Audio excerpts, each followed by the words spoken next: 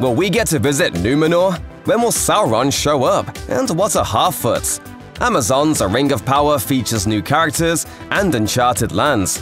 Here's what you need to know. The upcoming series wasn't called The Lord of the Rings The Rings of Power in August of 2021. The studio hadn't announced an official title yet, and fans commonly referred to the project as Amazon's Lord of the Rings series, or something along those lines. And yet, even without a title, the show went ahead and announced the premiere of its first episode, which would air more than a year in the future. On August 2nd of 2021, Amazon published a press release that included a gorgeous first series image and the announcement that episode 1 would drop on September 2nd of 2022. While fans have had to literally wait for years at this point, the good news is that they won't have to wait for much longer. The Lord of the Rings The Rings of Power had little to no visual promotional elements for the first four years of its existence. But once 2022 kicked off, we got a sudden flood of promotional videos. The first of these is an epic title reveal declaring that the show would be called Lord of the Rings The Rings of Power. Then Amazon went and upped the ante by releasing a full 60 second trailer during the Super Bowl. The trailer didn't reveal too much detailed information, but it did finally give us a solid glimpse of the world that Amazon is building to house its Middle-earth stories. From sweeping panoramas to CGI monsters to a slew of characters, the trailer created an instant buzz and a variety of different levels of feedback. It was so heavily viewed that it broke the first day trailer record, getting 257 million views worldwide in just 24 hours. On July 8th, another 60-second teaser officially dropped, ending with an announcement that another teaser would be arriving on the 14th of that same month. When that day arrived, fans refreshed their browsers with bated breath and were rewarded at last with a full two and a half minute trailer that went deep into the details. The trailer focuses on the passage of time. Elves discuss past glory and failures. Men speak of moving forward and leaving the past behind. Dwarves who are in their prime during Rings of Power talk of a new era to come. The trailer also puts the show's incredible production quality on full display. Scene after scene was shown, shifting from jaw-dropping panoramas to lively civilizations. Orcs flash on the screen for a moment. Elrond and Galadriel verbally spar over their tragic past experiences.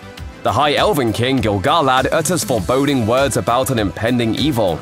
After months of virtually nothing to gauge how the show was going to feel, the second trailer effectively functioned as a full-blown reveal of how epic the Rings of Power experience could be. It will be the end not just of our people, but all peoples. With so much money and manpower going into the series, what story are they going to tell? While fans are used to the stories of The Hobbit and The Lord of the Rings, this time Amazon's narrative will be going much further afield, and further back in time too. The show will cover events that take place in the Second Age of Tolkien's world, this is a roughly 3,500 year long era that comes before the 3,000 year long Third Age, which ends with the events of The Hobbit and Lord of the Rings. If 3,500 years feels like a very long span of time, that's because, well, it is. In fact, showrunners J.D. Payne and Patrick McKay have already clarified that the biggest deviation from the text is the simple fact that they've condensed all of the events of the Second Age into a single point in time. According to Payne, we talked with the Tolkien estates. If you are true to the exact letter of the law, you are going to be telling a story in which your human characters are dying off every season, because you're jumping 200 years in time. And then you're not meeting really big important canon characters until season 4. Along with this major adjustment to the pace of the narrative, the showrunners have explained that they only have the rights to the Lord of the Rings trilogy and The Hobbit. However, this gives them critical access to the appendices of The Return of the King, which includes a brief outline of events in the Second Age. Working from this, they will try to bring together a coherent, condensed, and compelling Second Age narrative. One of the biggest concerns of any on-screen fantasy or sci-fi adaptation is how the show will utilize CGI. Even within the hollowed world of Middle-earth, overuse of computer graphics has already wreaked havoc on the Hobbit trilogy. Fortunately, Rings of Power addressed this very real concern from the get-go. When the show's title reveal video was released, it featured an impressive title drop. Later, a behind-the-scenes video was released showing everything from the mold to fog machines and even the pouring of real bona fide molten metal. It was a great way to showcase the series' commitment to practical effects. Since that time, the cast and showrunners have relentlessly reinforced the idea that Rings of Power isn't doing the bulk of its filming in front of a green screen, in the same spirit as Peter Jackson's venerated two-decade-old Lord of the Rings trilogy. Most shows need to approach production one season at a time. Not so with Rings of Power. This is a series that has a five-season story arc already fully planned from beginning to end. According to showrunner J.D. Payne, we even know what our final shot of the last episode is going to be. This was a big story with a clear beginning, middle, and end. There are things in the first season that don't pay off until season 5. Meanwhile, the eyebrow-raising budget of the Rings of Power production has steadily drawn comments and criticism from the beginning. In an interview with Empire, JD Payne offered a rebuttal to concerns about the Rings of Power budget. And it has to do with treating the Rings of Power experience not as a show, but as a movie, the showrunner explained. We think it's important to keep the budget in context. Really, this season is an 8-hour movie. This is the length of three Marvel films, done on the schedule of two for the budget of one. Look at it in the context of what's actually being produced, and you could say that it's a bargain. Everyone loves the Ents. The tree folk are a fan-favorite element of the Lord of the Rings story. And while they're certainly important in the Third Age, the events we see in the Lord of the Rings really amount to little more than a last hurrah for the group.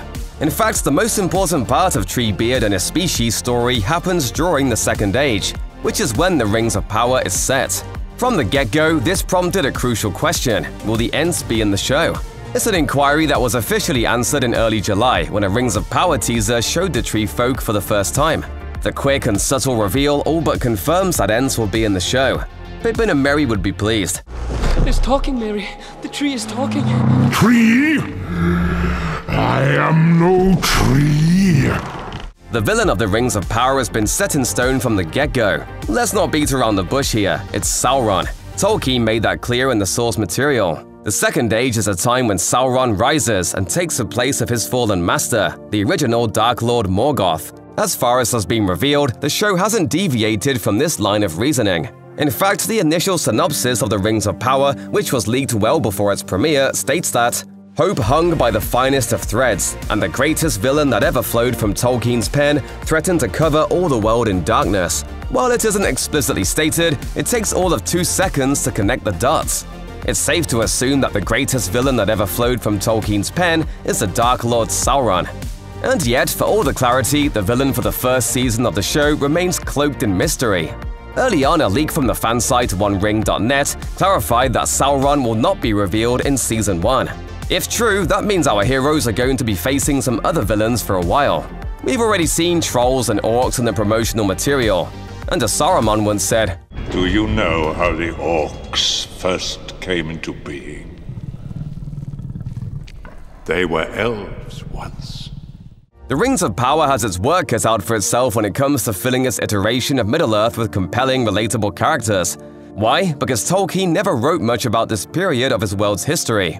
Instead, he focused on outline-level material, much of which the showrunners and writers have had to connect and fill in to create enough substance for a 50-hour story. This could be the beginning of a new era. Part of that process has been inventing new characters. This is an absolute necessity since there are very few names in the source material, but it's also a task that is fraught with peril. Inventing characters out of whole cloth and expecting them to stand toe-to-toe -to -toe with the deep, thoughtful characters created by the original author is a tall order. It remains to be seen if Amazon's new personalities will be able to hold their own in Middle-earth.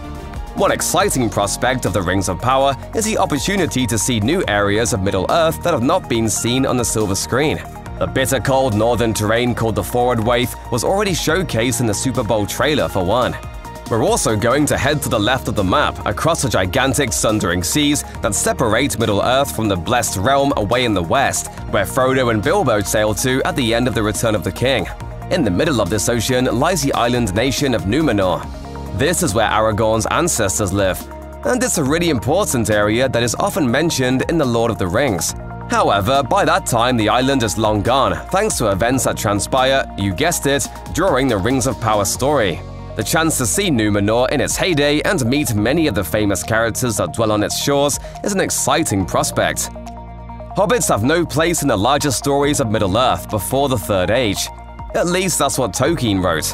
One area where the Rings of Power narrative seems to deviate from the source material, though, is with the subject of halfling history.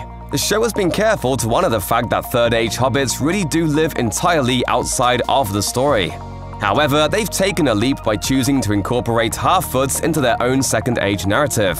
Who are Harfoots? They're basically proto-hobbits.